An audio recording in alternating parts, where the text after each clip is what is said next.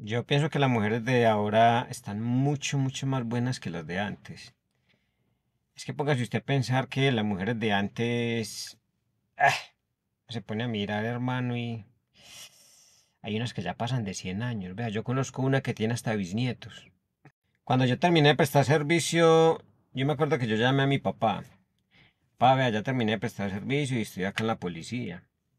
Entonces me dijo él, ay, mijo, la policía, no, qué bueno, mijo, que haya encontrado su vocación, que haya tomado el control de su vida. Esa es una muy buena decisión, mijo, yo lo felicito. Pa, déjalo al huevonazo, hombre, no es que me cogieron borracho.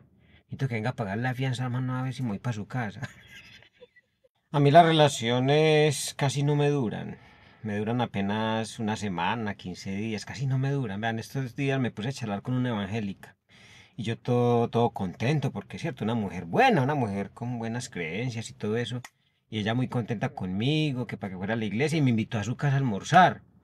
Y bueno, estábamos ahí yo primero conociendo a los papás de ella, los hermanitos, y bueno, y, y yo soy muy mal, he sido muy malo para romper el hielo. Entonces yo les dije a ellos, ah, pues les tengo una adivinanza. Y entonces ellos todos contentos, ¿cierto? Ay, una adivinanza, bueno, vamos a ver con qué, una adivinanza del, del Señor. Eh, ¿en qué se parecen una toalla y una calculadora? Entonces ellos se miraban entre sí. Ay, no, no sabemos.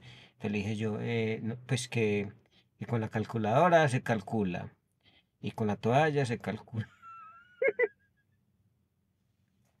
Y me echaron ahí mismo. Esa, ese noviazgo duró tres horas.